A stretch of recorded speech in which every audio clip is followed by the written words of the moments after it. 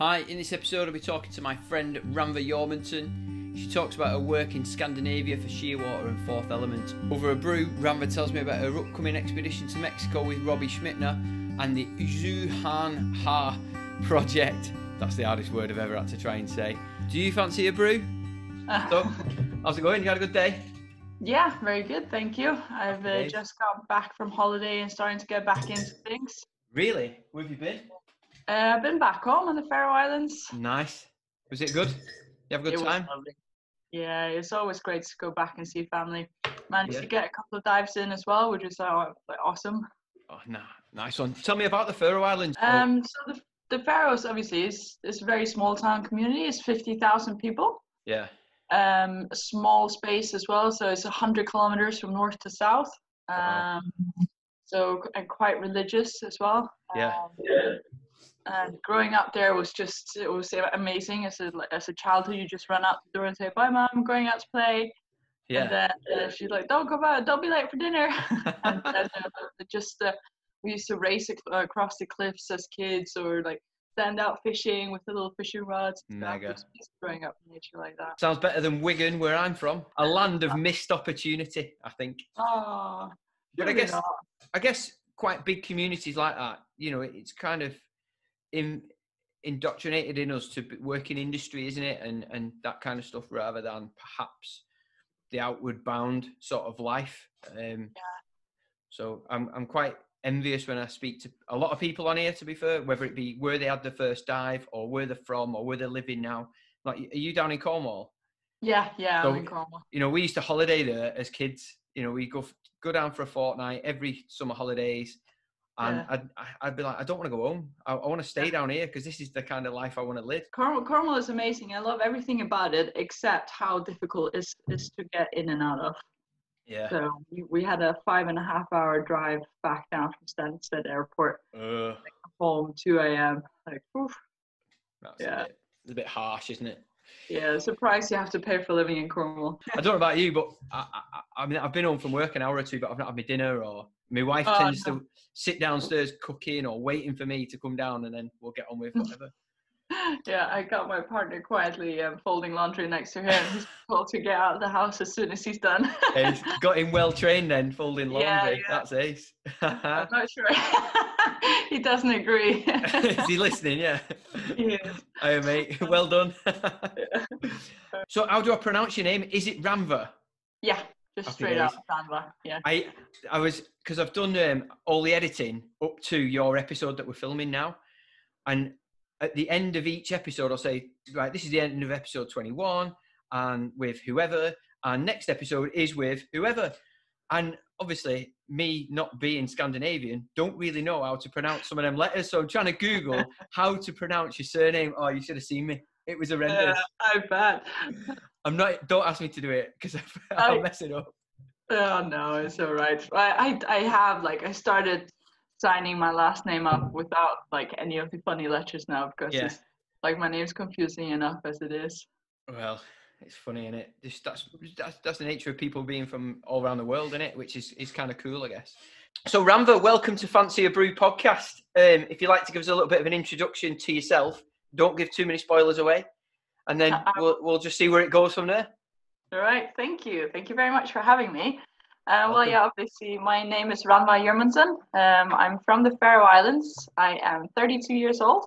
Uh, I currently live in Falmouth in Cornwall, and I work for Fourth Element and uh, for Shearwater as well, or I'm the Scandinavian and Baltics uh, sales rep for Shearwater. I do a bit of cave diving, do a bit of rebreather diving, do a bit of instructing, just anything that's got anything to do with diving, really. Better than my job, I guess. So, what brew are you drinking? Have you got a brew? I've I literally just finished my cup of coffee. Oh, terrible. I cheated. I'm very sorry, but I have a glass of water that I got ready. well, that's all right, isn't it? So, when was the last time you were in the water? Um, Saturday. Yeah. Whereabouts? Anywhere good? Anywhere exotic? Yes, actually, it was in the Faroe Islands. I've just come back from holiday. I was diving with uh, one of my very good friends back home. Um, he's got a dive center called North Atlantic Diving. He's just started it, and we were diving in this amazing crack in the Faroe Islands there, which is just oh like mind blowing. There's so Yeah. much life, and I even managed to see a puffin swimming underwater. No way. Yeah, yeah, yeah. It came twice. That's Like, ace. Yeah, I got a, I got a pretty good. I have a little video where you can't really see the puffin, but you can hear me squeal. well, we were diving. Um, a couple of mates of mine who run another podcast. Um, we went to Stony Cove, sort of in the Midlands, a couple of weeks ago, and there was a duck, just a normal duck, and it was diving down. It's the first time I've ever seen a, a bird underwater. We weren't in the water; we were above though on the car park, and it was going really deep and bringing up some pondweed and just eating it on the, or faffing with it on the surface. But I couldn't imagine what it'd be like to see one underwater. It must be pretty. Whoa, where have you come from? Especially, but there were so many fish as well, just where I was diving as well. I was diving with a friend who was doing macro photography. So Yeah. I was more or less just like kind of swimming in circles, making sure like didn't lose her and then just having a good time, a good look around. There were so many fish where we were, and then suddenly a school of them got a bit scared.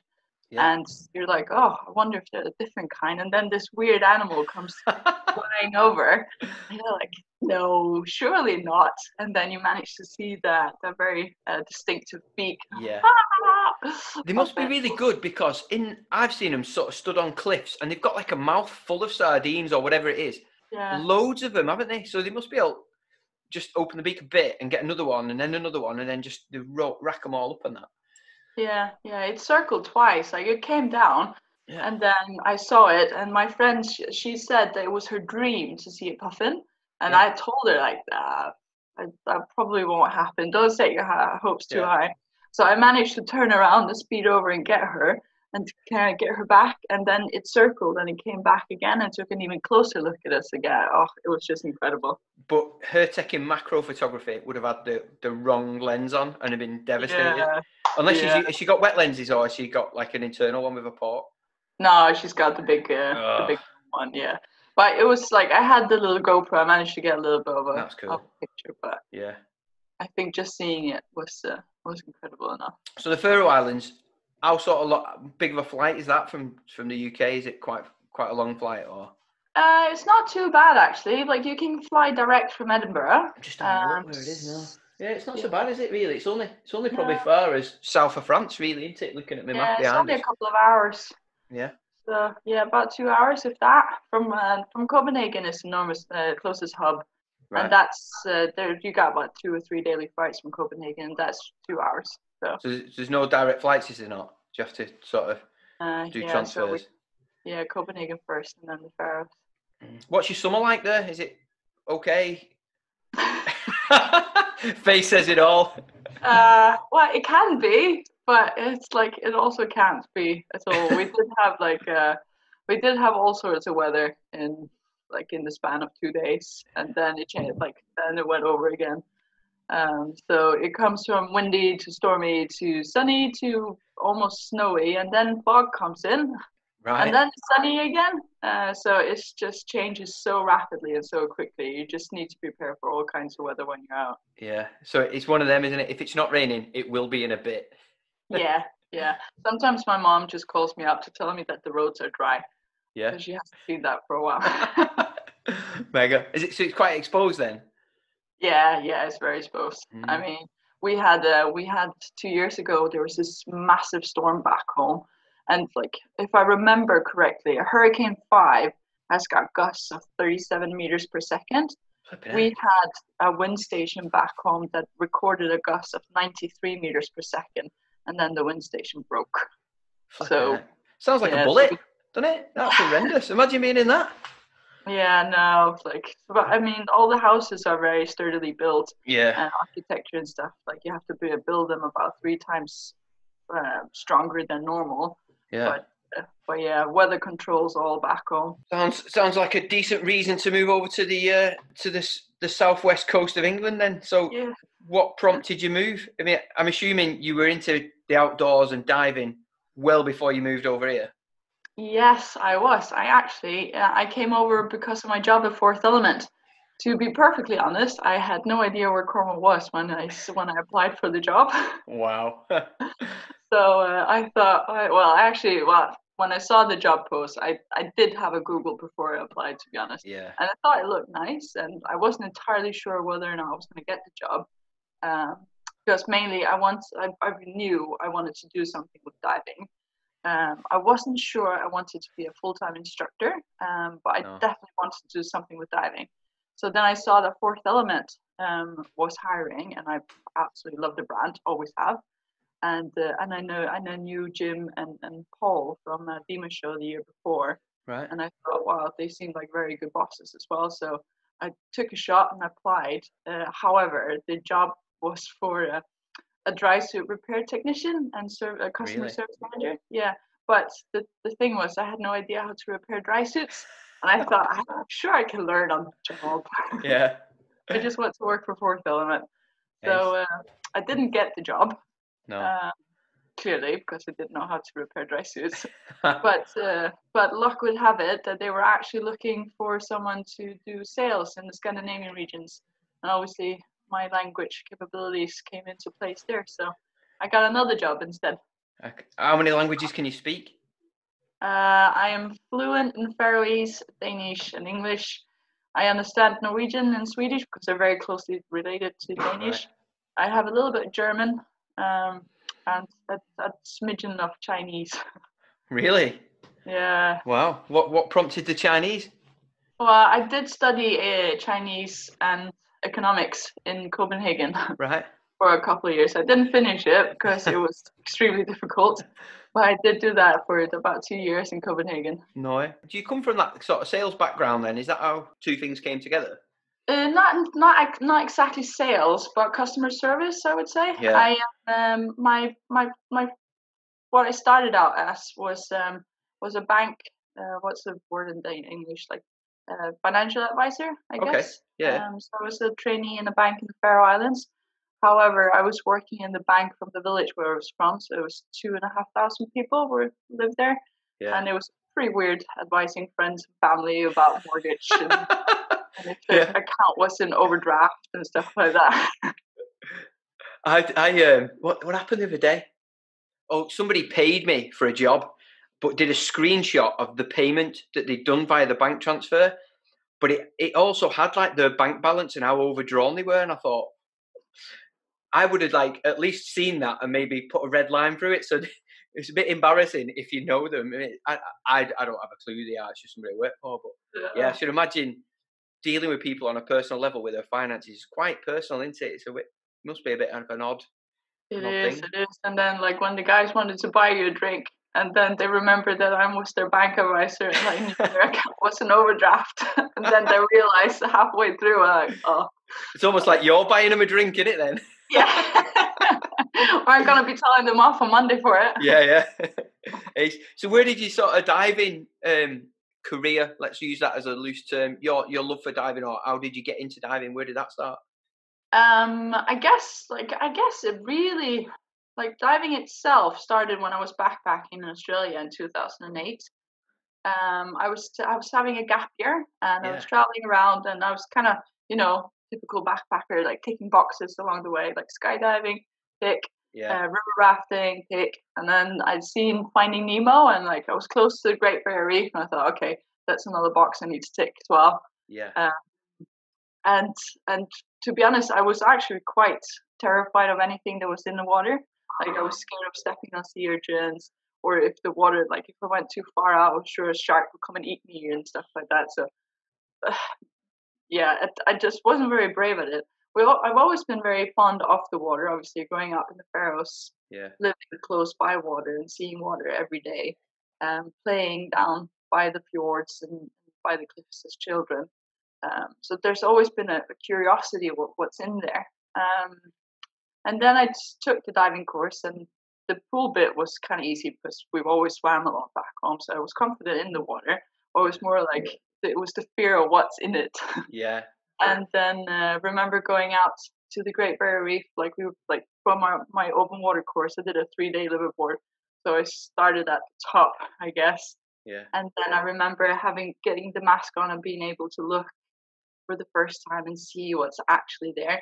And then that that's that's also where that feeling came of being weightless, and I just like it was just instant love. Mm. And um, and then I also remember being sat with the other divers and instructors, listening to their stories and thinking, I want to have cool stories like that to tell one day. Yeah. yeah, I remember being so inspired by these people as well, and like all the cool stuff that they've Yeah. done, seen, and stuff. And I, I I remember wanting, oh yes, I would like to be someone like that one day. I've said this to almost everybody that I've had on now that everyone who I seem to interview has either had a better first dive than me or has done. So you in the Great Barrier Reef again, I'm like devastated because mine was in not in the Great Barrier Reef. It was in Tenerife, off a beach. Yeah, and they sort of sell you the dreams. So we went snorkeling in the morning, and then a dive in the afternoon where somebody's literally got hold of you all the way around doing your inflation, and I kind of felt like I was on my own and didn't enjoy it at all. And and obviously another 14 years later, it took me to get to the point where I could get into diving, and then ah, Really, what, what got you back into it? four years ago, I was in an office in in our in our unit, and there was a bloke in there, and we just got chatting, and it was literally over a brew. So I'd, I was doing some work, he was doing some work, and as I got up to make myself a drink, I said to him, "Do you want a, do you want a cup of tea? I'll, I'll get us all one." Like, and uh, he said, "Yeah, go on then." So as I brought it back in, he started a bit of a chit chat, saying, uh, "So what do you do? What you into?" And then he said, "I'm going on a dive expedition to Fuerteventura to look at the angel, the migratory and breeding patterns of angel sharks." And I said, "Mate, do I fancy scuba diving? I've always wanted to, never really had the opportunity to where I can take it on. So I'd love to. Tell me what I need to do." That was sort of my initial concept for getting me into diving was to go on this expedition. It was only five days, but it was, you know, it was the best five days of my diving life because Yeah. I, I was so new and naive and, and wide eyed to everything that was coming my way. That sort of sponge and thirst for knowledge, you know. Yeah. Um, and it, it opened me up to a world of possibilities and meeting new people such as you. So obviously you, you've moved over to UK, you're working for Fourth Element, and you've picked up loads of different diving qualities. So you've gone from just being an open water diver and whatnot. So where was your transition then into more technical diving? Um, so I was after um after Australia, I, I went back home to the Faroes and did my bank training and stuff. Yeah. And I, I became I became a dive master while I was out in my back, back uh, gap year as well. Because I was Really? like, yeah, I, I absolutely loved it. So from my open water, and then six months after, I, I become a dive master, and I took Jeez. Yeah, I did my dive master in Angili Triangle out in Bali, which was uh, yeah. I hate you already. that was good fun. However, I feel like I started the reverse way because then I came back to the Faroe Islands. I had and I became I got introduced to dry suit diving. Hmm. Back then, there weren't really dry suits for females back home. It was neoprene suits. They were my first dry suit dive, and I was I was actually diving with a mate as well. He's like, "Nah, it's fine. I'll take you diving. There's a nice little bay here. It wasn't very deep, like eight meters, and yeah. so little kelp furs. It was really, really cool. And then I showed him my neck, and I'm like, "Is this supposed to be this loose?" And he's like, "Yeah, yeah, it's fine." Like, okay. and you have like so much when you're not when you're not when you're female. You just have lots smaller shoulders. So there's I couldn't even get my own BCD on because everything just crinkled. with Yeah. We jumped in, and I just like whoosh immediately could feel all the water running in Horrendous. oh god, this is horrible. And then we did a bit of a dive around, I think like 10, 15 minutes. It got heavier and heavier to swim, and I got colder and colder. And then I poked my buddy, like, I'm a little bit cold now. Can you please come up? He's like, ah, you'll be fine. Just keep on swimming. I'm like, okay. and then we kept on swimming for another 10 minutes. I'm like, no, no, no, no. I can't do it anymore. I'm shaking uncontrollably now. Let's go up. Mhm. And then he's like, why do you want to go up already? I'm freezing Yeah. and I opened my dry suit and then took the water out and it just like gushed out and his eyes oh i'm so sorry i thought it just leaked a little bit um, but no fortunately for me i had some very persistent friends that kept pulling me back and back into diving and Yeah. then we solved that with some rubber bands and some gaffer tape Yeah, so I I've seen that done. every time A load of yeah. parcel tape round their neck. I've seen that done before. Yeah, but it was just it was a horrible way of starting dry suit diving. It Mm. really was. So I like I almost stopped diving because of that experience. Yeah. Um, but again, thanks to my very persistent friends back home who kept pulling me back and encouraging me to come and, dive again and again, I kept coming back and you and got more and more good experiences. And then I moved to Denmark. And in Denmark, I eventually became a diving instructor and worked for a dive shop called Kingfish. And that's where I got my first proper dry suit, my first made to measure dry suit. I was like, oh my God, this is just amazing. And since then, I don't think, I can't remember diving wetsuits since. No. And that's about, It is ridiculous, isn't it? Having one that's absolutely tailor made for you. yeah, It's so much better in every single way. it really is. It really is. And especially, I'm very tall and I have um, and skinny uh, wrists and neck. Yeah. um, but quite small shoulders, so it's, I had to have something that was tailor made. Mhm. Um, but talking about how I got into technical diving, um, so obviously I was in Copenhagen with these other instructors there, and in winter we would have um, pool time instead of going out because in Denmark the water very quickly comes down to zero degrees. Yeah. It's absolutely freezing. Um, I remember doing my rescue uh, rescue assessment for our IDC, where my buddy was wearing heavy duty dry gloves and having to pinch my nose consistently, and it was just red raw at the end of it. Horrible. It's like they're Yeah. Um, but yeah, but so during pool sessions in the winter, where we could go and like do our open water sessions and just practice, the guys you'd see some of the guys practice their technical skills over in the corner. Either Yeah. they were doing like ascents and descents, or they were doing shutdowns and stuff like that. And, and it always looked quite fun.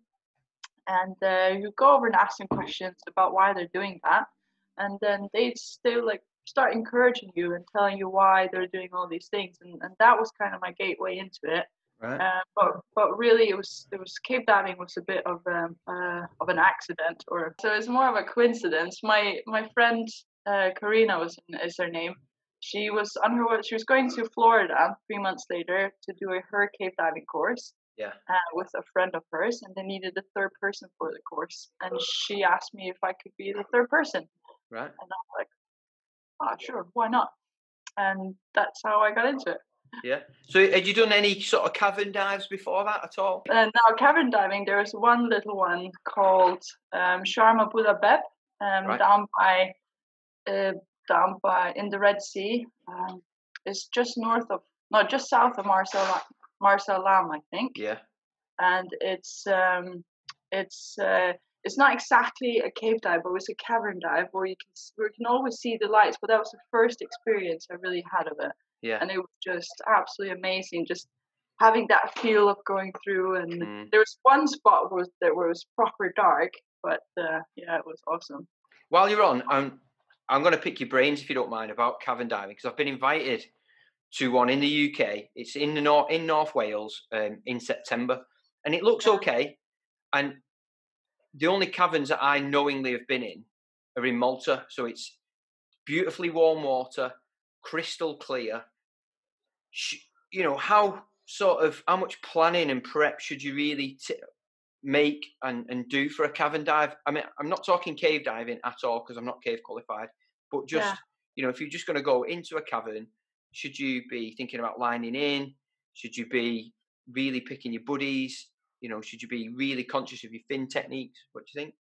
um it depends on the cavern as well like the one we did in egypt there was like there was no silt on the bottom the dark spots i had a line installed already and we had a guide Yeah, So I think I think being being quite um, being comfortable in the water, as I assume you must be as well, yeah, yeah. um, and and being aware of, of where your body is. Um, Mm. Obviously, cavern uh, you can do cavern uh, recreationally as well, so so you should be fine as long as do you do you have anyone who knows the site? Yeah, so, so the guys that have asked me to go um, have dived it before. yeah, It's not massive. It's about 18 meters deep. Um, there's videos on YouTube, you know, so we can see it and mentally Mm. sort of prep for it. it. We've got landowners' permission to go on it. Um, Mm. You know, so I don't think it's too much out of my comfort zone. And Mm. certainly with the qualifications I've got, I am, you know, okay going in there. Mm. Um, and it's more on a personal level. You know, if if there's anything I could pull from you that I might not have thought about already, I was Um, asking. Do you know what kind of uh, bottom composition is this? Is there a lot of sediment in the bottom? I, without looking at the well, looking at the video we seen on YouTube this morning, and the di- the divers that were in that video, the way they were finning, you would suggest there's not a lot of silt. Yeah. Um, and it's certainly, it, obviously, it's made of rock around Yeah. it, and it almost looks like something that was a mine at some point. yeah. Um, so there's a lot of sort of broken rock on the deck. Um, but without, I mean, I'm, go- we're going to have a good chat this weekend about it and sort of Yeah. develop the planning for my own Yeah. peace of mind. You know, I, I like the planning stages of it.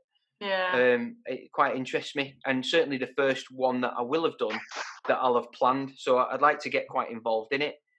Um, Yeah. I think there's three of us, so it's a proper team effort rather than just 20 of us go into a dive site like you would with a group of mates. Um, yeah. so it, it does quite interest me. Um, I mean, I would, I would definitely because often like you, you still you've heard of people having accidents in even in cavern dives as well, Yeah. and often when that happens, it's because they've kicked up the silt and lost visibility.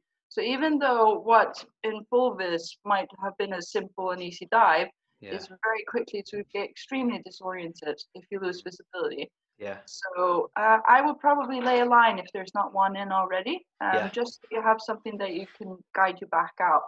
Um, I don't know if you've done any training with line diving before as well, but, but I would recommend practicing that outside. I have, and I'll be completely honest because I think that's what's good about this kind of podcast is talking through different things that maybe less experienced divers might not have thought about, but might be just going doing willy nilly. Um, I have done line laying as part of one of my qualifications, but not for a while. Yeah, Um, so I'm more than happy the next time I'm in the water to start doing that and, and put, you know, paying it out and getting used Yeah. to tying off and keeping the line tight as well and, and, Yeah. and all the things that go with that. Yeah. I, you probably you probably should get an instructor to teach you, like the, the do a little course, a cavern course, or Yeah. an cavern to to do that. Just just maybe you're comfortable as well, but you don't know, or I guess I don't know what kind of skills your buddies are at as well. Mm, So you might be comfortable, but they might not be, and they might get quickly disoriented. Uh, so it's just to build confidence in the skills Absolutely. of all three of you. where did you find your, your need for a rebreather? Oh, who doesn't need a rebreather? my missus, need a rebreather in my your life. missus doesn't need one, so she says. oh God, I I'm a bit of a gadget freak as well, Yeah. and my rebreather is just the ultimate gadget. Um, and it's just it's just more, it's just it's just another level of diving as well. It's another way of diving. And even though I've, I've done quite a bit now of rebreather diving, it's, I still find it very challenging because open water, I can I'm I can just sorry, open circuit. I mean, is is just second nature to me Yeah, but doing it with a rebreather there's so much else that you need to you need to keep your mind on you keep need to keep focus on but it's just it's still it's just fun as well um, Mhm. with the gadgets um, the, the need for for my rebreather um, was because we were doing a project last year me and maria bollerup from denmark um, we did a film called unexplored which is which is a little film uh, intended to to show what cave diving can be to a wider audience. Right. Um, so for that, we were working with five uh, of the major brands in in diving. So we had Fourth Element, we had Apex, we had Shearwater, um, we had Paralenz, and which was the initiator of this project, and then we had IQ Sub, which crea- which makes the XCCR. And so they were very clever and lent us the rebreathers. Or like Maria had her own XCCR to begin with. She's got Yeah. a modified version because she's very small. okay. Um, but they lent me mine and for the project. oh, that was clever of them. I'm uh, I'm very poor now. um, but it was just uh, doing the training with it as well. Obviously, I did my course with Mark Powell or the crossover for the rebreather with Mark Powell. I had. Mark on a couple of weeks ago. Yeah, I saw. I saw. He's got some good stories, doesn't he? Yeah, yeah. Yeah. Um, and then so so obviously so that was about I can't remember like six six months before, and Yeah. then uh, did training back home and got used to the rebreather, and then we were on. It was part holiday in Mexico with a big group of friends of ours, Yeah. and then the last four or five days, me and Maria was shooting this project, and it was with the rebreathers in in, in Mexico. And Whereabouts in Mexico were you? Pardon? Whereabouts? Whereabouts in Mexico? Uh, Tulum.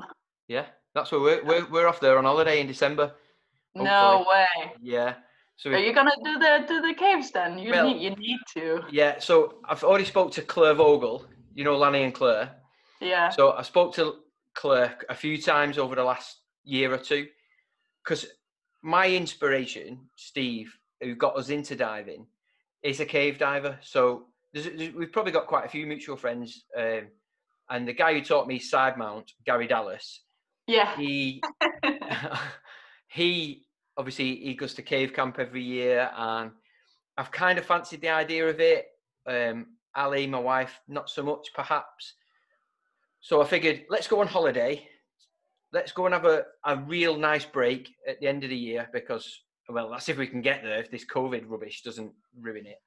Uh, But like I said, I spoke to Claire, and we've we've kind of booked a few days to go on like a guided cavern dive yeah. which which hopefully will get Ali, my wife, to get the same bug and just go. Let's have it. Let's have a go.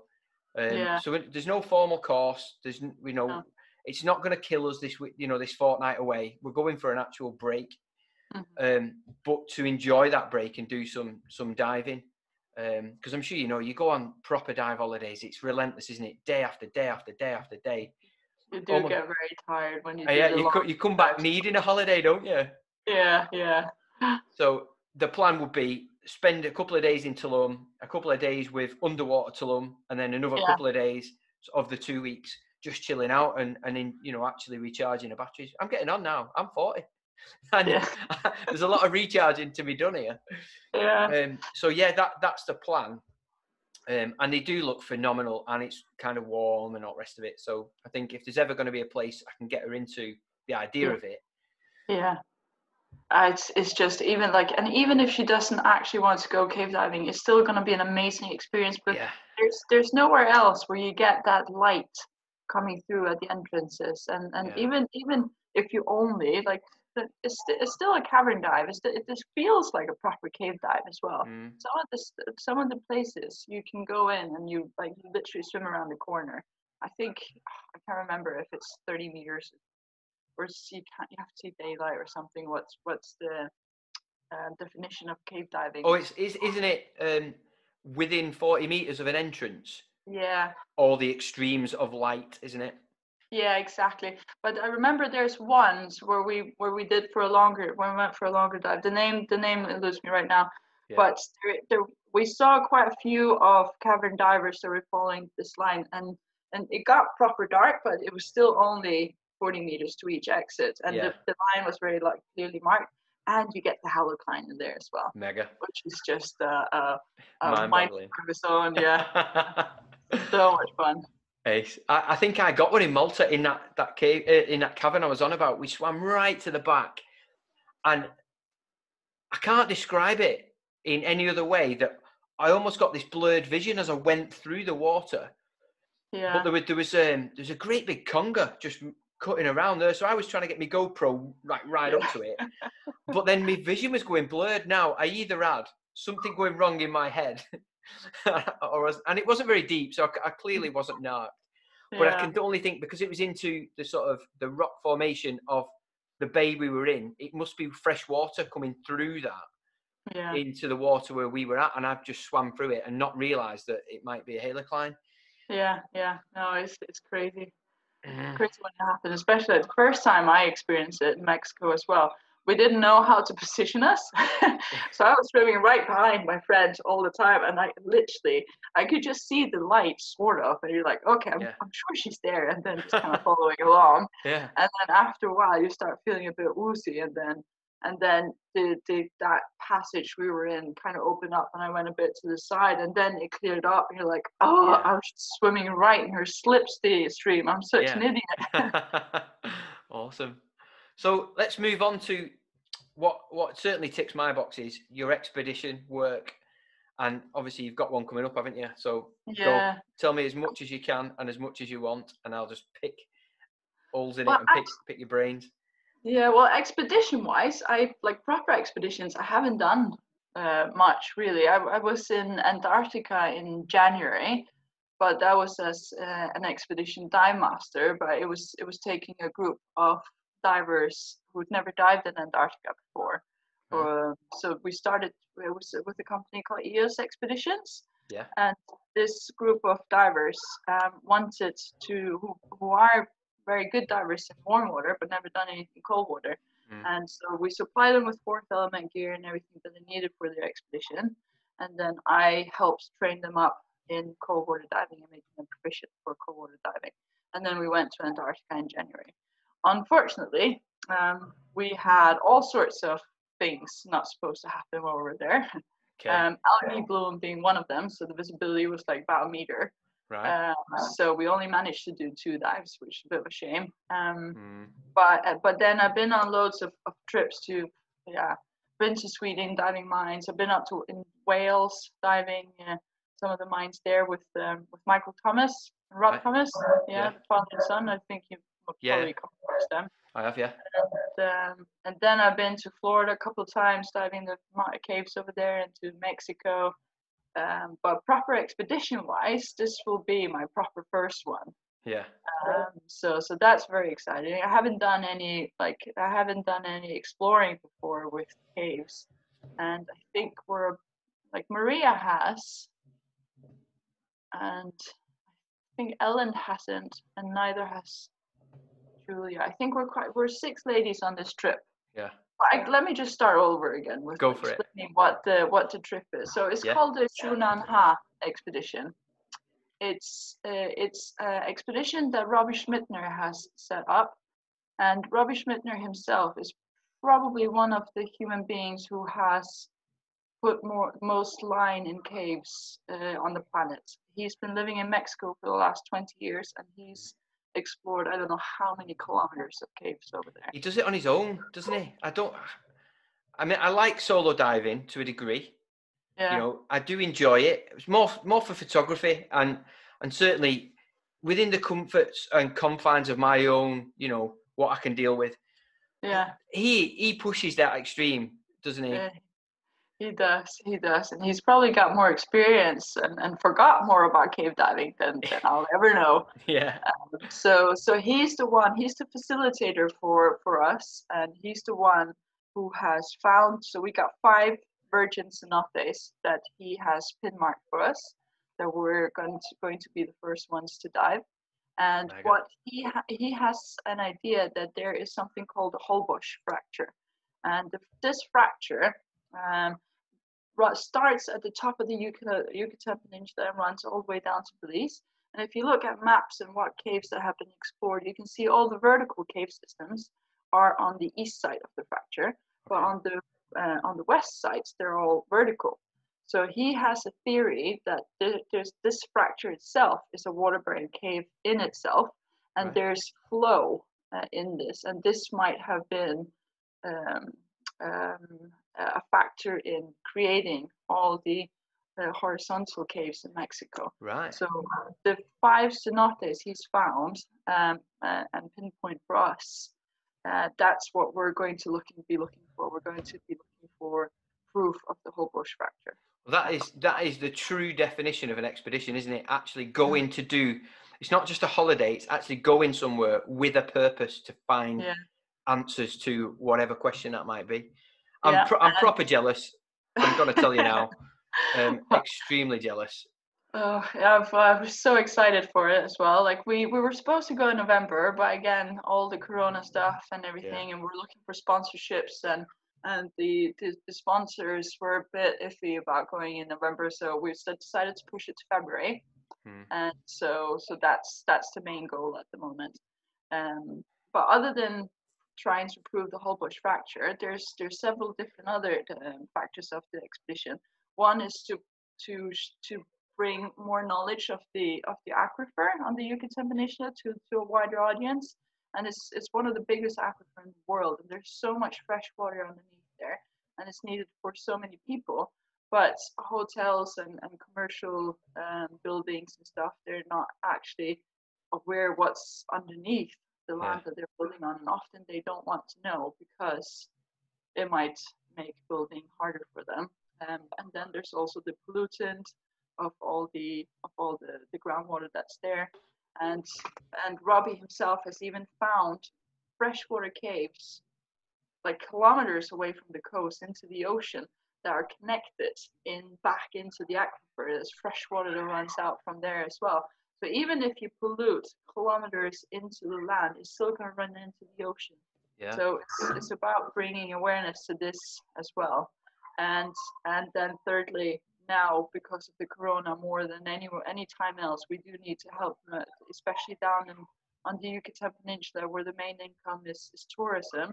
We're Mm. trying to to bring more awareness about tourism and to encourage people to come back and and help them because they have lost all their income at the moment, and uh, and they're struggling and there's no there's no furlough scheme or anything like No. that in Mexico. So they are struggling. So anything we can do to help to get them back on their feet um, is what we're trying to do. I think it's it's quite easy for us to sit here in our nice warm homes with lighting, with cups of tea on tap or whatever, even warm water on tap, with all this electronic gadgetry that we've got, and and forget about the sort of second and third world that's out there that's just not got anything because Yeah. everything's stopped. It's when you do think about it, it's it's pretty scary, isn't it? That we are so fortunate and just Yeah, and even like, and just Fourth Element as well, like obviously we had to send quite a bit of a few people home on the furlough scheme because obviously there was nobody doing anything for a couple of months.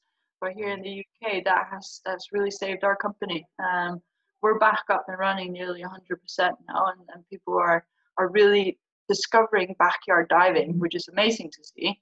And Yeah. and now um, and getting their eyes up for the beauty of UK diving, which is amazing. There's so many Yeah. amazing spots diving here, um, so that's that's a good thing. So so fortunately, one Fourth Element is one of the sponsors for our project as well. Nice. Uh, so hopefully, hopefully it'll kick off. so how how is your fundraising going? Um, so we are, we Fourth Element has uh, started. Let me just see how we're going at the moment. There is there is a site that you can log on. If you log onto robbieschmittner.com, you can read about the Xunaan-Ha. Um, on the there's a um, on the left hand side, and then there's a GoFundMe page where you can go in and see it. We are still at the beginning, so our goal is to um, is to get sixty one thousand eight hundred fifty two dollars. So far, we have only raised fifteen hundred. Um, we're still working on getting it out to the wider audience as well. Mm. Um, so for for the, the the donations that are coming to this expedition will purely be used for expeditions as well, for exploration and for the development of the Xunaan-Ha expedition series. Because even though we only go for 14 days and we'll probably discover, or hopefully Yeah. discover kilometers of new passage, there's the Holbox fracture runs all the way down to peninsula. So this is this is really just scratching the surface, and and ev- all the all the funds raised for this expedition will purely go to this expedition or the development of the Xunaan-Ha series. Nice one. Uh, So when you say the series, I'm assuming then there's plans for further dives or further expeditions. Are they going to be all female ones, or is there No. a chance for uh, Andy, the, the northern diver, perhaps to develop his cave diving experience one day? Yes, I'm sure there is. I'm sure there is. So, so we did take. We were open for applications to get more people to helpers and stuff like that as Yeah. well. Um, but all the spots have been uh, have been filled now. Uh, but there, it, as I said, it is an expedition series. So put your name out already. Contact, get in touch with Robbie, Yeah. and then put your name down for for future expeditions. Um, we're starting now as well as a female team, just because it's never been done before to the best of our knowledge. Right. Um, so so that's why as well we had we had a drink at the DEMA show last year. Yeah. Me, Robbie, Maria, uh, Melody. I think I think everyone was there except Tamara. She didn't make it to to DEMA. So Right. we all sat down and had a chat about this expedition. And Robbie had this idea, and he thought it would be really cool to create um, a all female expedition team. And he will just and he will then offer the support and Mm. everything needed. Well, it's very much the sort of a, a term that's being used now, like with the girls that scuba movement. You know, Yeah. there's there's a lot more emphasis on, let's call it a minority, because I mean, even today I was looking through the analytics of my YouTube channel, and it was something like 98% male. Yeah. and then 2.5% or whatever it was female. Now, yeah. that's an interesting demographic, isn't it? I think. Yeah. That, And even even if you look at the PADI numbers, which are recreational, yeah. you can see that um, I- if I remember correctly, the 2018 18 numbers were 38% of the certifications were female. So there's still there's still quite a gap there in between, and that's recreational. So Mm, going into technical, we don't even know, and that's that's part of this this reason of doing this female expedition. It's it's not about creating a, a battle of the sexes, not at No. all. Like we we've all been supported and and uh, held up high by by the men in our lives as well. But it's about encouraging and and showing like if we can do it, so can you, yeah. and and and making others believe and, and inspire them to come in and do some more of this amazing diving that that I really should think should be Mm. accessible for anyone. And at the end of the day, I've, it's it's really hard because not to to blow my own whistle. Like uh, some people have been saying that they do find what we do inspiring, Mm, and that's and that's kind of what I like. I like people to find what we do inspiring, not so much as who. Yeah, well, also that like not so much like Ramba. Uh, Yeah. this, that's that's that's very nerve wracking, and that, that makes me just well yeah. but when people see like what actually what we, it is that we're doing and the adventures that they want to have the Mm. same adventures of their own yeah. that's something i was like yes i can i can help you or push you to that like if anyone has any questions they're always more Mm. than welcome to get in touch and, and if you want to do something like that i'm always happy to help Brill. I mean, I, when I spoke to Sarah Richard from Girls That Scuba a couple of weeks ago, she Yeah. she definitely pinned the nail, the tail on the donkey as such. That a lot of what we see or read or watch on the telly is middle-aged men. No, I'm in that demographic now. Just turned forty. I know that. so oh you're so lucky you look great andy thanks, mate. Cheers. Sorry, I'm married. Oh, and, and, you're dead tall and I'm dead short, so it'll never work. but anyway, joking aside, um, and it is, isn't it? The market is very much satu- saturated, whether it- in what sort of ever media you look at, yeah mostly with middle-aged men that have been lucky enough to have a good career that's brought them to the, the sort of forefront now. So I think it Yeah. is good, whether it be Ellen, who's always on Wex Pixel because she takes fantastic photography, or you because you're at the forefront of working for Fourth Element and Shearwater because you know you're doing this sort of technical and more inspirational diving that I would love to do. You know, I'm really envious and will be following you now an awful lot more. You know, so you need so to that- do your course and we'll go diving together well, I need to find time. I've got too many other irons in the fire, but it'll happen. It just because I've only been diving a few years. I think a rebreather or cave diving right now might just be a little bit too much. You know, you also I- need to have something to look forward to as well exactly. You know, if you do it all on the first day, it's Yeah. all gone. Then you, you what what's next? You've not done it. You've nothing else next to do, have you? So. I'm, I'm kind of enjoying where I'm at now, you know. So that's kind of where I'm at with it. So cave diving will come, I don't Yeah. doubt, and and so will a rebreather. But you know, it's hard enough taking your camera in the water, isn't it? Mm-hmm. I still haven't like I, I used my Paralenz, but that's Yeah. about the extent of my camera skills at the moment.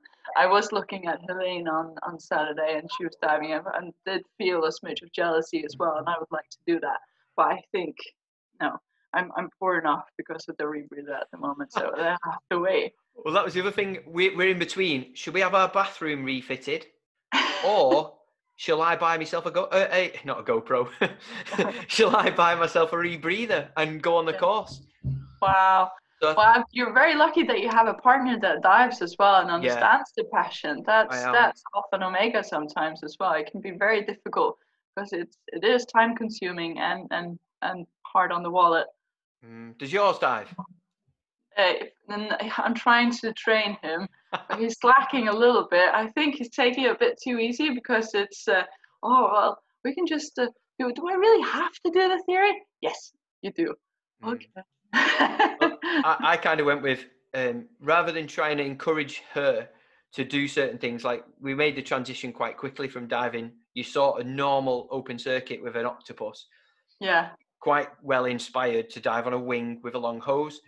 So instead of asking, I just bought it for her, just fitted Oh. it, and then let's get in the water. Let's pr- practice with this. And Yeah. we, we so we dive very much as a team now, me and her, Yeah. because our kit is exactly the same to the point our dry suits are the same. You know, uh, Wow. everything is bob on, and it's absolutely it works perfect for us because we're now at the same level. But if I'd have waited for her to sort of make that change, it would have never come. I don't think. Yeah, exactly. Well, I, I I do have a little bit of the same idea as well, but it's mainly it's mainly because I, I need to get back in the water and get some uh, some training done on my rebreather again as well. Like obviously it, it's been standing stagnant now for a while. My poor Mhm. thing, it's all dusty. Poor thing. yeah, oh, so neglected. Um, yeah. But I, I do need to to have someone with me as well. I, I'm not going to be diving alone on my rebreather, and often it's easier just to get him Yeah. than to arrange for all sorts of buddies to come along as Mhm. well. Let's jump back onto your expedition bit before Mm-hmm. we before we digress onto everything because I'm terrible for going off at tangents and not coming back. but I have made a list of stuff to go through. I don't know if you can see that with the Well lighting. but- so I've planned a couple of, or I've certainly planned a, one proper expedition, and it was a military one. So we had Mhm. 17 guys and girls on it. There was probably half as much funding to find as what you've got Yeah, find, um, and a lot of it came from a mixture of the sort of public purse, so the government or the MOD were paying for it, but other it I had to try and raise, you know, so I had to raise 15 grand. Yeah, it's no small task alone. And it's just you, you you yourself doing it. At least you've got some some some buddies and well-known names to help raise that money.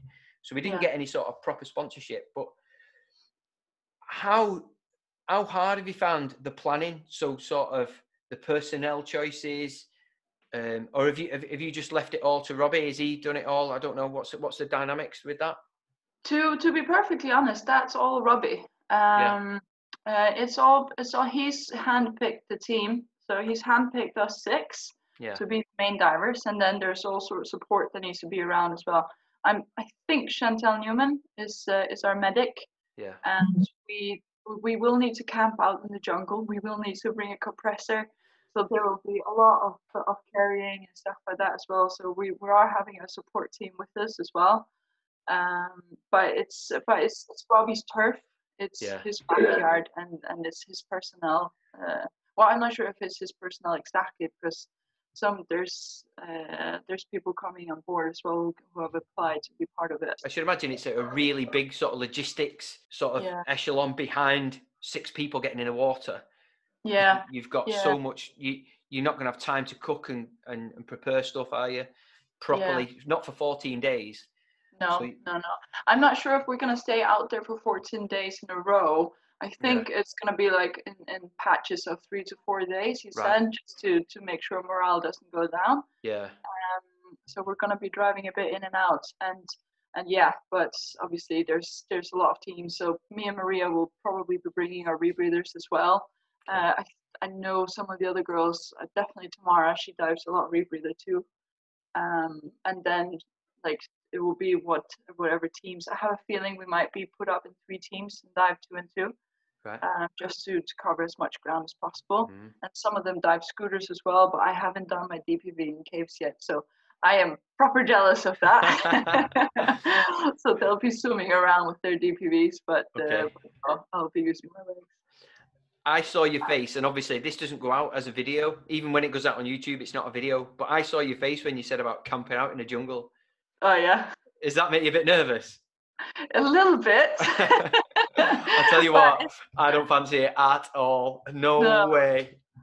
Um, so we we we are in hammocks as well. So t- to be honest, I don't. My my biggest fear is wasps. So that's what I'm worried about. Really? Yeah, anything else I can handle, but if wasps gets too close, like I I'll keep my cool. Yeah. But I think like last time me and Maria were in Mexico, we were walking down to the cenote. We had we had this beautiful overhang as well before we even got into the water. And we walked in, and she got stung right on the lip. No way. like, oh, I don't want that happening to me. Well, it's funny you should say that because obviously that's what I do for a living, being a pest controller. oh, So really? yeah, um, and touch wood. have a problem. Yeah, touch wood. I haven't been stung this year, but generally I'll be up in loft people's lofts or their attics, you know, pulling out wasp nests and stuff. And honestly, I'm as scared in that loft as I would be in a jungle Oh, really? because I've got a full bee suit on with the big hat and gloves, Oh, yeah. but then you've got to wear a couple of layers underneath because the sting's a lot longer. And it's so hot. As imagine in the summer, it's 20 odd degrees outside, it's 50 odd degrees in the loft. Yeah. And then and then when you touch that nest, it just goes it just goes alive. So I know you I know you sort of nerves around the wasps and that, but it's all them creepy crawlies, like you can't get away from them. That's no, what bugged I- me. Yeah, I mean, like, and I do imagine us being, being eh, like number one, excited enough, number two, tired enough that we will fall asleep in the hammocks at night, and uh, and the carrying in and out is all is something I'm also a bit. Mm, We'll see about that, but it it has to be done. Like yeah. expeditions aren't supposed to be easy. No. Have you have you slept in a hammock before? No, I haven't. Oh, you need to try it. It's amazing. It, it is good. Yeah, right. I've done Yeah. it. I've done it in Cyprus. We were on some training a few years ago, and I had the opportunity instead of sleeping on a roll mat on the floor, which was Yeah. really dusty, I managed to get a hammock up, and it was it, oh, it was fit. It was so good.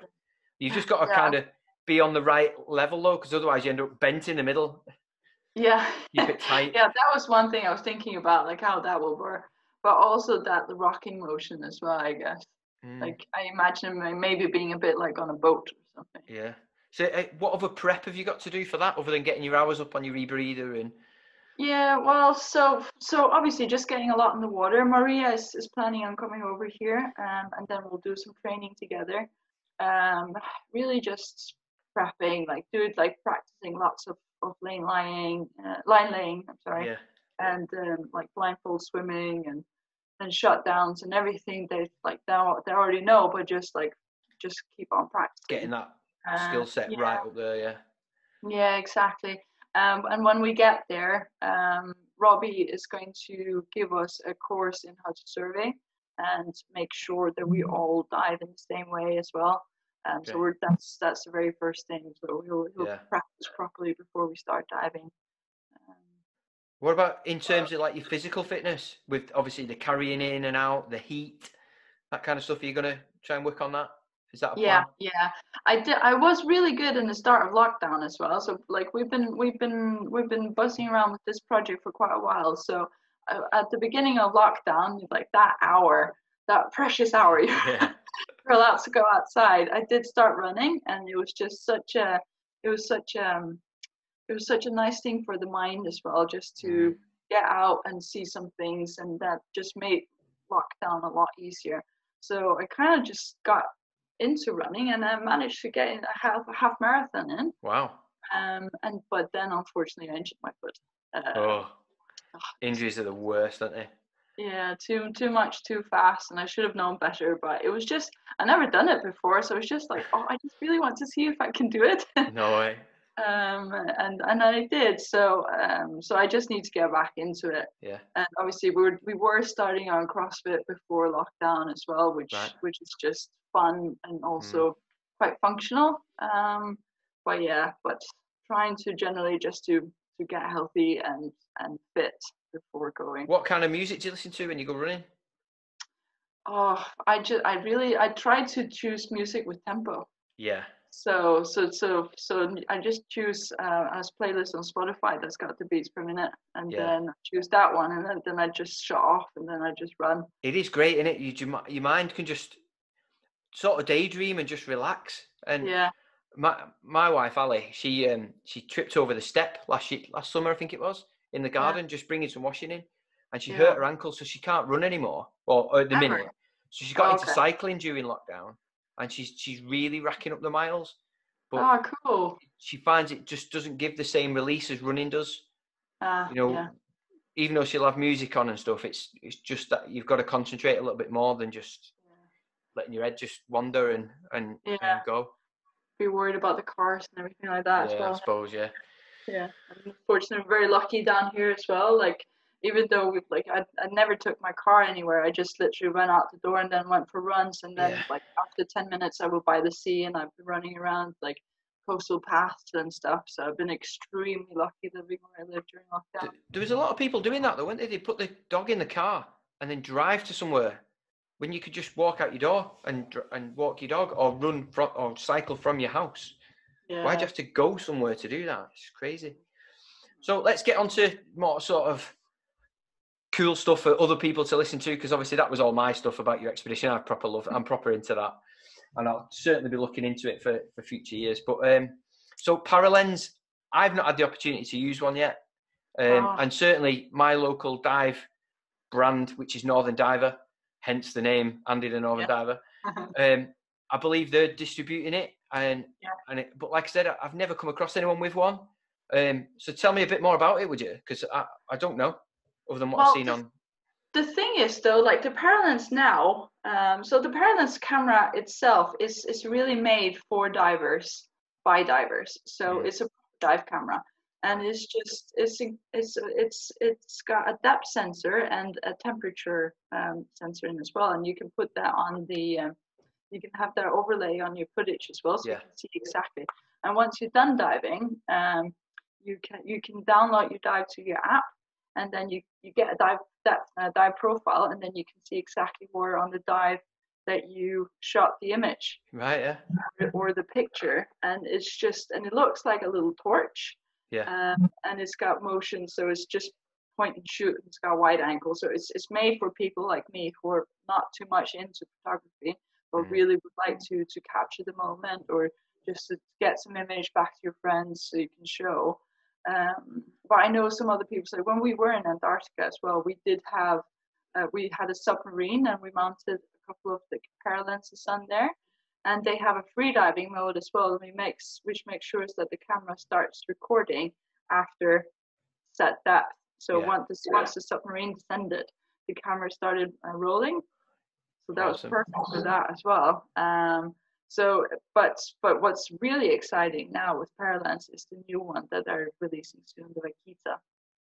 And what Paralenz realized when they first come out with the with the first camera was that this depth and temperature, um, if we can gather that information from all the divers that used it from the specific locations, that's that's a very valuable database for scientists to use, so you can uh, track global warming or how the oceans are. all right, yeah, So the Vaquita now is going to build on uh, citizen science as well. So the camera itself, obviously, is a great camera. Um, and now what the old one didn't have was um, green in the back, but that the old one didn't have that. The new one has that, so it's so it's easier for you to to shoot at. But the new one has GPS, so it knows exactly where the dive started and ended. Um, it can measure salinity as well in the water. wow, It measures depth and temperature as before. Uh, I- think that's it, but it's pretty phenomenal. And then Yeah. once you upload your dive to the app, you can choose to share all of these um, measurements with the with the cloud to sh- uh, to Paralenz, so they can uh, create a whole database with divers all around the world with Mm. all of this valuable information, and then they share all of this information with all of their partners. that's the first. Sorry, that's the second time in a week I've heard that term, citizen science. I quite like that.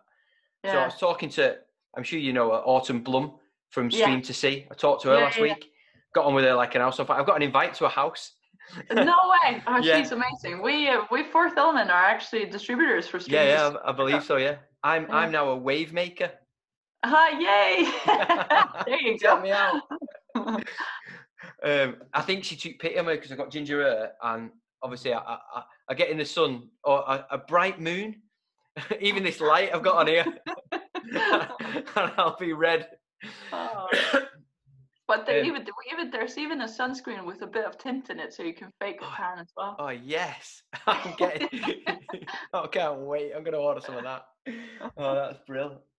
Um, but the Paralenz, with you saying it was a camera developed by divers for divers, does it then um, understand because of the depth, the color um, variation or reduction? So does that automatically sort of filter that in? Yes, it does. You can even you can even choose whether or not it's green water or blue water. It changes the white Get balance. out. That's that's that's pretty special. now I understand why there are a few more pounds than the run of the mill GoPros.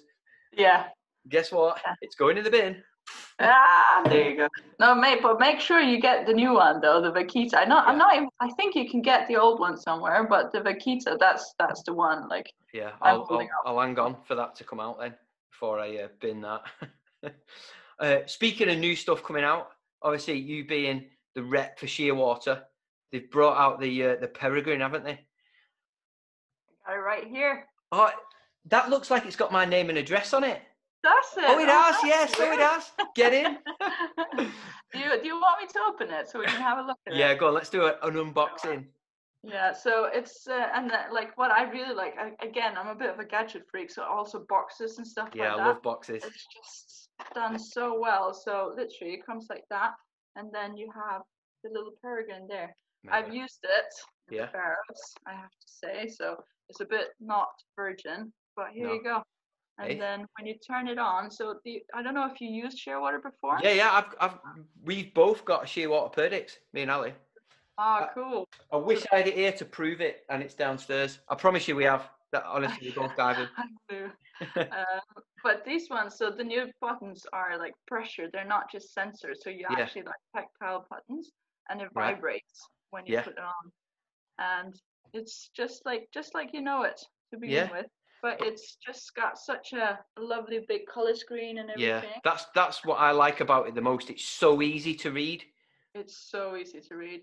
Big numbers, ready to use straight out of the box as well. It's on air mode already. Right. um, and like and then it comes with all sorts of lovely things as well so it comes with the with the strap it's got on the back here it's got the pins and screws it's just so thought through it's that cool I need some tools. but yeah right and then but if if you don't want the straps you can get the bungee and Oh, I love it. then and put the bungee on as well right, I've got a question for you then.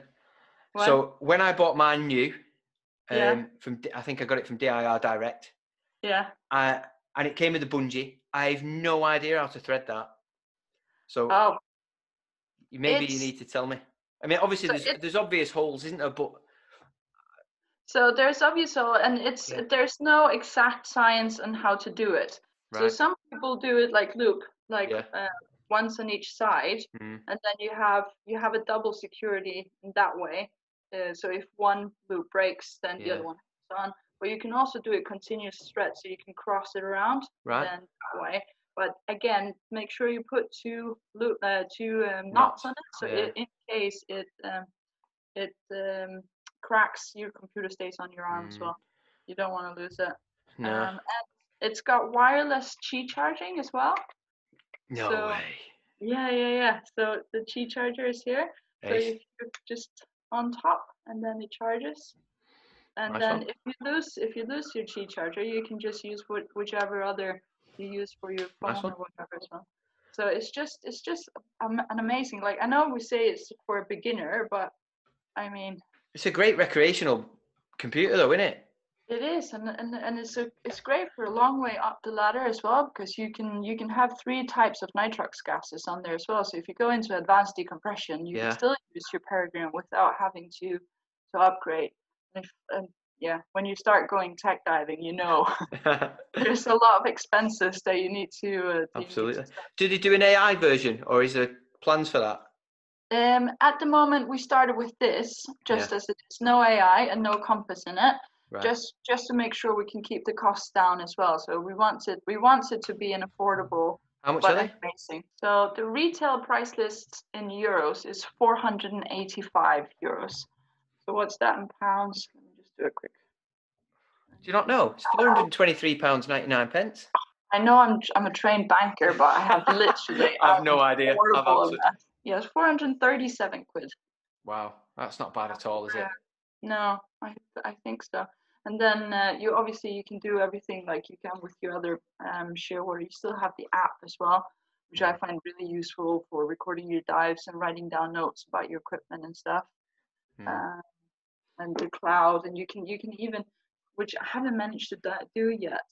And again, being the gadget freak that I am, you can customize the splash screen so you can put your own picture in. Well, you jumped the gun there because I was going to say, can you change that screen like I have on mine?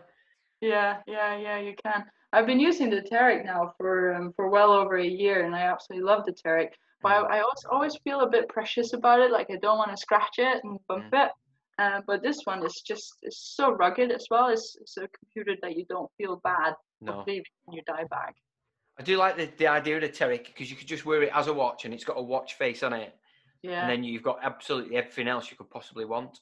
The yeah, only, only thing that's probably put me off buying one, and not because I need it right now, but if it had some kind of like fitness part to it, you know, so if you went running, it could monitor your heart rate, that kind of thing. That that'd be the only. If I if I was after a watch that did everything, that would be the one then, wouldn't it? Yeah, yeah, for sure, for sure. It's uh, you're not the first one saying it. Um, but again, there's only so much you can do. Put in a computer without making it stupidly expensive. Well, they can do it, but it'd be a million pound. yeah. so it's not happening. But fair Yeah. enough. So Mission 2020, fourth element. Obviously, you can see I'm sporting my t-shirt, Yeah. the net effect. cool. Very Um, cool.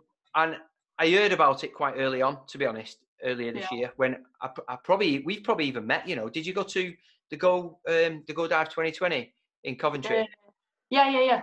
So I came over to you. So I was after a, a new dry suit. Uh, sorry, a new wetsuit. So Yeah, I got um, is it the Proteus 2? I bought that. Yeah. yeah. And I came over. I can't. I honestly can't remember who I spoke to on your stand who directed me to whoever was selling it there. Yeah, Um, and that's where I came into the understanding of what you know your mission 2020 was. And obviously, I've heard different people talk about it on different, whether it be podcasts or whatever. I think it's great, but you know, we need to get that out, that that sort of wording out a little bit more. So, what do you want to? What can you tell me? Um, well, I can tell for those who don't know what Mission 2020 is. Um, that's it. It started as something that Fourth Element wanted to do ourselves. So we wanted to make a, a mission for ourselves to do something better for the environment. Obviously, being a manufacturer, we became quite aware of, of how much plastic there is around our products and the packaging and stuff like that. And and obviously, we are divers. We work with divers. We care deeply about the ocean and seeing how much plastic pollution is out there, we really felt that something needed to be done and, and where else where better to start than by ourselves. So Jim and Paul um, started the Mission 2020 where the pledge was to eliminate all single-use plastic from our production, to try and have a form of recycled component in all future products, and to try and reinvent existing products and inform some sort of recycled component in that. Um, so we started doing that ourselves. Um, got on quite well, but at, after a while, uh, Jim and Paul were thinking like, well, it's it's only a drop in the sea, pardon the pun, if we we do it ourselves. What if we can start this as an industry-wide concept or an industry-wide mission? Hmm. uh, to inspire more people to come and, and more companies and, and fact manufacturers to join this mission as well and then we can actually do something that makes a difference and so we started spreading mission 2020 out further and we've got so many companies on board even competitors Suunto is on board as well Brilliant. like Ocean has uh, uh, eliminated single-use plastic. Um, dive centers were already um, eliminating single-use pla- uh, plastics, so they instead pledged that they were going to do 50 beach cleanups before 2020. So every it was more of a, of a lifting together thing as an industry, working together yeah. instead of uh, for for a common good as well. Um, so so so far, it's obviously uh, unfortunately COVID has has ruined a bit of uh, of the finish line for us as well. Okay. Uh, there was never really like a real finish line. The plan was to to hand over a book with all the pledges from Mission 2020 to UN on, on World Oceans Day. But unfortunately, we weren't able to attend, so that's been delayed. Um, but like just like a company like Shearwater joined us, and you can see there's no plastic in the packaging as well. So so really, it's just an inspiration that that we as an industry can work together as well for for what we love. Yeah. I think I think having competition is is really healthy. But Yeah. when you and your your competitors can work together and collaborate on things, it just sends out a much more bigger and more forceful message, doesn't it? Certainly with something so important that we all, as divers, because Yeah. we all, when it all boils down, we're all just divers, aren't we? We just some Yeah. work more in the industry or get paid for it. I always I don't get paid for this. Hmm. Shame. I spend more hours on this than I do at work. but you know, it's it's, it's great that, that I didn't realise that. It, I thought it was just within you as a company, as in Fourth Element. I didn't realise just how big it had grown. Yeah, no, no. If you go on mission2020.org, Yeah. we've actually we've removed everything that's called fourth element and uh, and made it as a, as a company thing.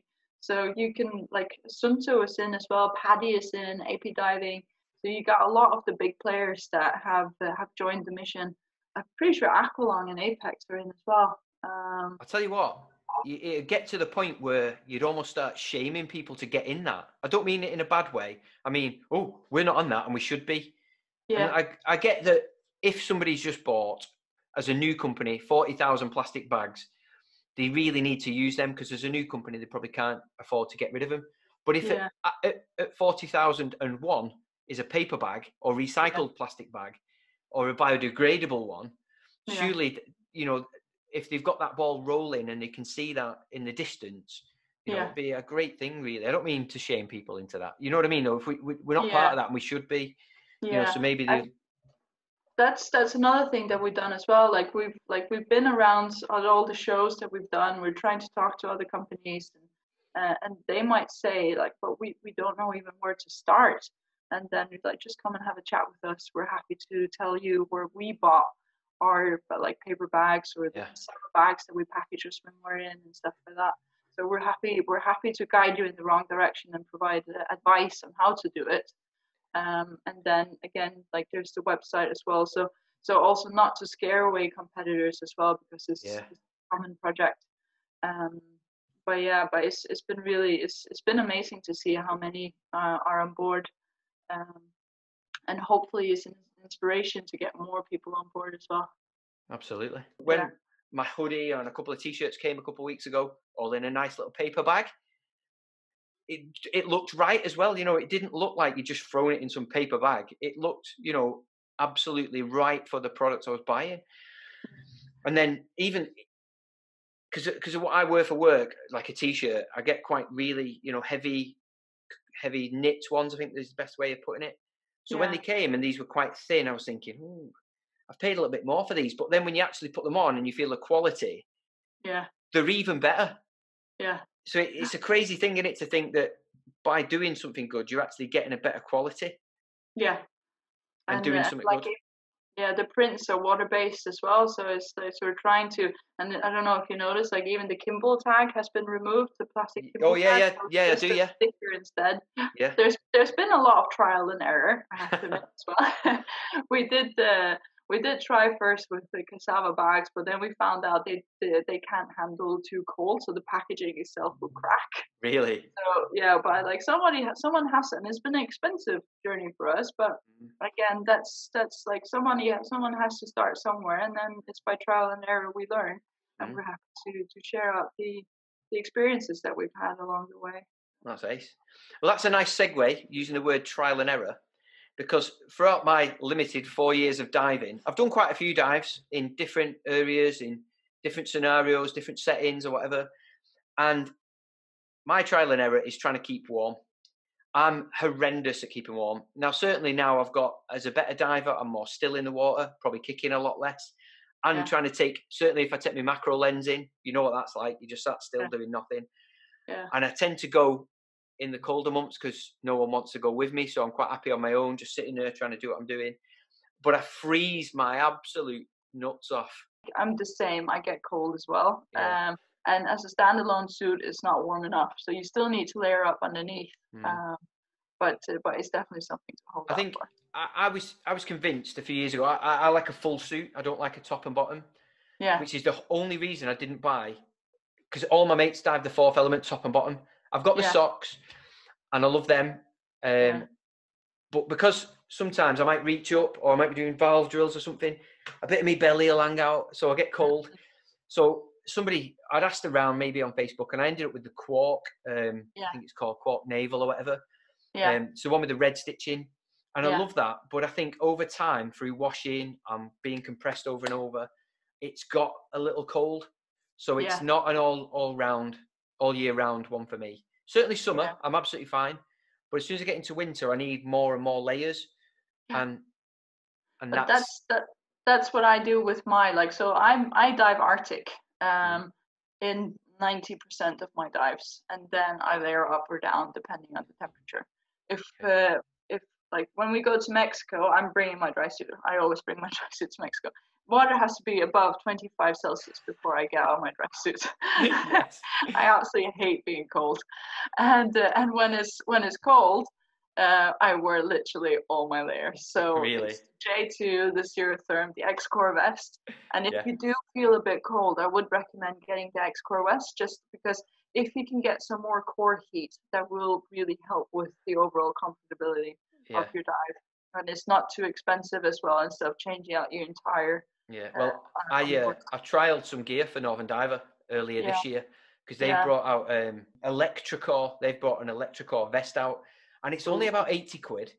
yeah. So it's it's literally just a tank top with a zip and a small battery. So my plan would be in in the winter, certainly for my my core, to to wear Yeah. something like that. Um, I've got my gloves right now. I think you know I've got I've got a bigger one. I, I wear the Kubi gla- dry gloves. yeah. Um, so I've got layered up and they're big enough so I can get them all on and they're Yeah. not too What kind of- tight. What kind of undergloves do you use? So I've got the obviously the standard cotton ones that come with the marigolds that come with the Kubi. I bought the Yeah. ice, the new Icelandic wool ones. Yeah, from Kubi. Yeah, yeah. Yeah, I've I had my eye out for them. I haven't been diving dry gloves much lately. Um, it's just been, you know, I've been doing a lot of of, uh, of open water diving with a single tank and some friends who who aren't really uh, very comfortable in water, so it's just Yeah. been short dives anyway. Yeah. Um, but I'm uh, obviously we we do make um, the Zerotherm gloves and the glove liners, but I think when you go for for the more extreme dives, uh, they're not entirely enough. So Mm. I'm always interested to hear what other people are using. I did see the ones from uh, from from Kubi, the Icelandic rules, and always it speaks to my heart as well, being Faroese. So anything that comes from a natural source from way up north uh, always makes. Absolutely. me- Well, I've gone to so I've worn the the ones that come with the cuff system Yeah, with those Ice- Icelandic wool ones over the top, and then the thicker, sort of more rugged outer gloves. yeah, Um, I've even tried just wearing the marigolds to keep my hands dry with a pair of neoprene over the top. Um, which ones have I got now? I've got the waterproof ones with the sort of orange flap with the zip there. yeah. It didn't really work. I Oh. didn't feel any benefit, to be honest. Um, I'm up for trying anything just to to see what I can achieve, you know, because. But I've Yeah. heard of people wearing two or three hoods to try and keep their head warm. Yeah. I, I love my fourth element hood, to be honest. I'm probably ready for getting a thicker one for winter. Yeah. But you know, it's because it was short. That's what I liked about it. Because some of them flip over, don't they, around the neck and that. I like looking cool. so Yeah.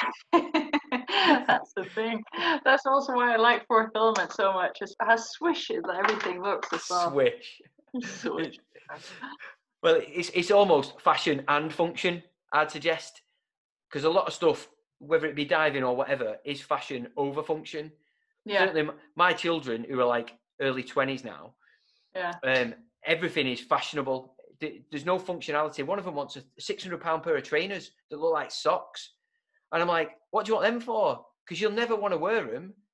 It looks like socks. Yeah, they're called Balenciagas. Have a Google of that. Oh, they're horrendous. oh, and I'm like, "What do you want them for?" Honestly, they're just horrendous. Uh, and that's what I'm thinking. Like, think of all the dive equipment you can buy for six hundred pounds. Well, yeah, and that's the thing as well like and and because we are all so different divers as well. And, and people people ask like what kind of undergarment should i use? I'm like oh, it's it's just the broadest question ever. Because as you said yourself like when you start out diving you're more active and then you keep your like you keep warm uh, Yeah. easier. But then you you get better and then you you're calmer as well which puts takes puts your air consumption down. But then it makes you so much colder because you're not kicking around all the time as well. no, yeah, And then you end up like layering up, and then you need extra weight, and like oh, and then you go from fresh to salt, and then rebreather to side mount, and that's Oh. why like the, having the app with the the weights, especially the weights, is the one Yeah. that I have every dive. I need to look in my notes and, and consult my notes and figure out how much weight I need. that that's one thing I've tried to push with anyone I've been teaching as an instructor Mm. is every time you change it, either your configuration or what you're wearing, Yeah. make a note of it in your dive log because you'll always refer back to that. Yeah. And I think there's there's a lot to be said for having them kind of notes that Yeah. you know you can't forget then really short of No, it, just getting it completely wrong. Right, Yeah. so we'll start wrapping it up then.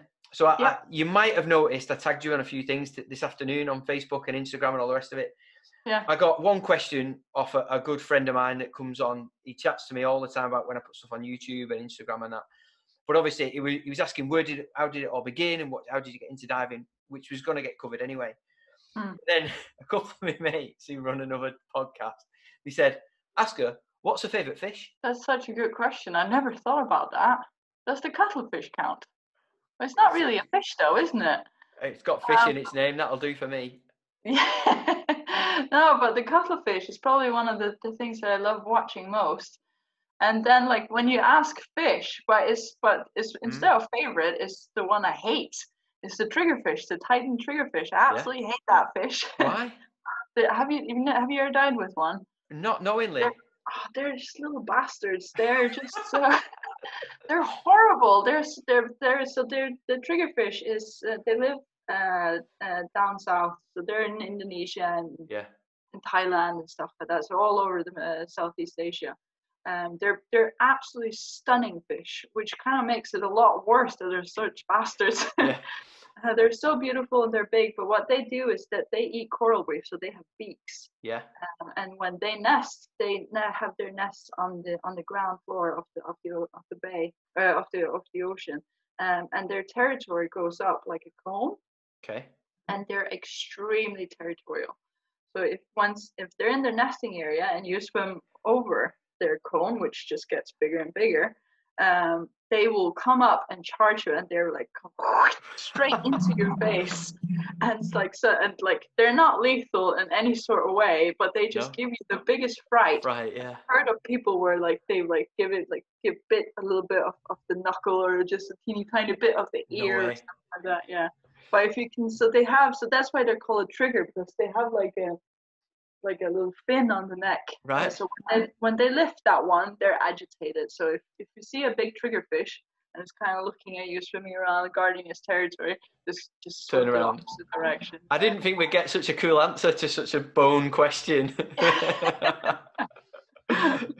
What's But your it wasn't favourite actually fish? the answer. I said that's my that's my least favorite fish, Yeah. but it's still like the first one that pops into my mind. Well, please please stay in touch and then uh, generally if you do come down and let me know. I will. Be ace, Yeah. mate. Nice one. Right, take it easy. Have a good evening. Yeah, I'll you see you later. Thanks very much. you Take it easy. Bye bye. So that brings us to an end of episode 22 with my friend Rannva Jørmundsson. Links to all the things we discussed are in the podcast notes. My guest on episode 23 are Blakey and Wazza, the rogue divers. They talk about discovering plane wreckage, shark tagging, and trips to the Red Sea. You've been listening to Are You a Scuba Diver Fancy a Brew podcast with me, Andy the Northern Diver. You can find more scuba related content on my YouTube channel. The link is in the podcast notes.